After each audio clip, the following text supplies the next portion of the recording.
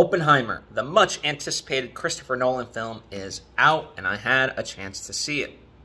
Now, unlike his other movies, this is truly an adult drama. Um, it's much more talkative, right? It's much more suspenseful.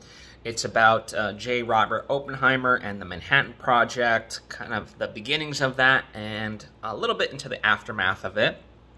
Okay.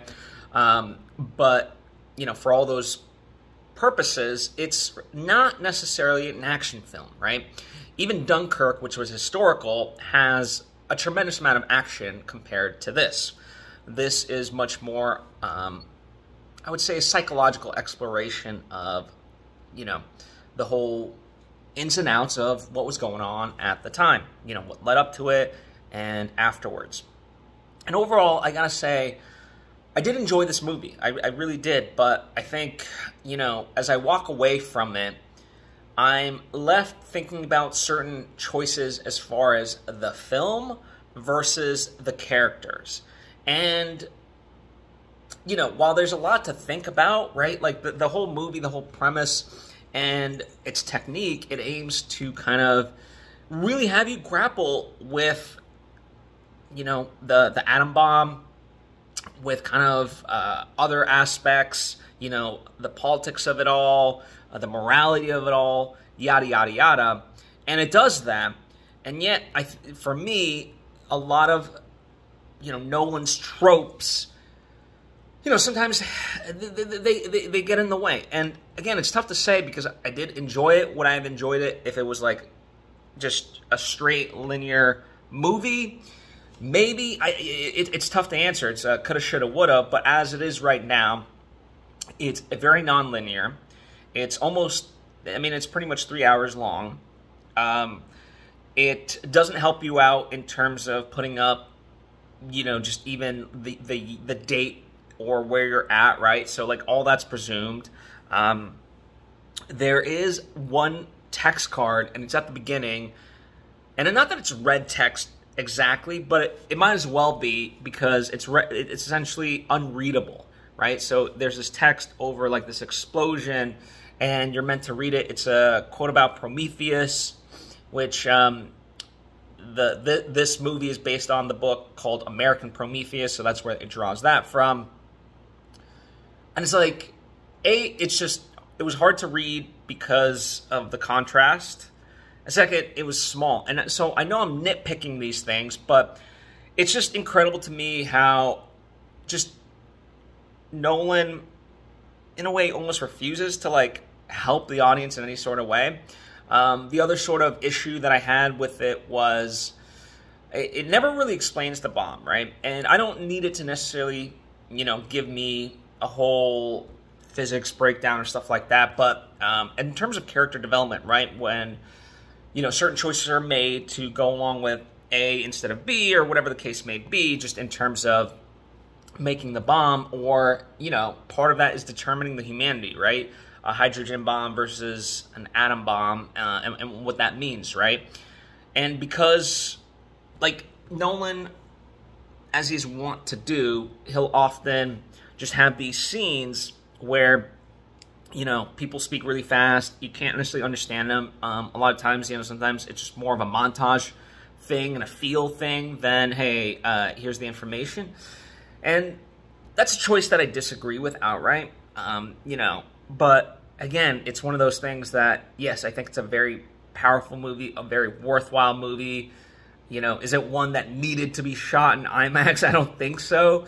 Um, I, and I think it could have been just as effective. Um, you know? So i mean there, there, there's definitely a lot to love and I, I do appreciate it leaning into the nuanced nature of oppenheimer and you know just history in general uh, with everyone involved there. So I, I, think that really does behoove it. That's a big uh, pro of the movie. I just think you know yeah I, I, i'm torn. I'm torn. But if this was a movie that you know you had any inclination to see, then then do it, right? Like make your own decision. Um, some people are calling this like Nolan's greatest masterpiece. Uh, not for me, you know. I think I, I think it's a wonderful movie, but it's not the masterpiece in that way. But it does make me think, right? And and I think it is worthwhile. And if nothing else, I always appreciate the fact that Nolan is one of the few filmmakers uh, and one of the only filmmakers on this scale that can make an original movie, draw a crowd, um, tell a story, and you know take some big swings and things of that nature. So for that, I you know I commend him, and I will always support him. Um, but this movie, as I said, overall, um, it, it, it, has to sit with me. But the fact that like I'm more, you know, there, there's a lot to think about in terms of, as I said, the, the the themes of the movie. But I'm still reeling more so from some of the filmmaking choices versus anything else. And you know, the other thing of it is, um, there's scenes in color, there's scenes in black and white. Now, and, and you know, Nolan's stated outright that the ones that are in black and white, those are more factual, right? Um, whereas the ones that are in color are more subjective. If I hadn't seen that beforehand, would I have like picked that up? I, am not sure. So, I mean, there's there's just a lot of layers as usual to um, Nolan's film, and I think in this case, for me, it does get in the way of thinking about the implications of the story versus trying to just figure out a story that, for all intents and purposes, I mean, we don't all know.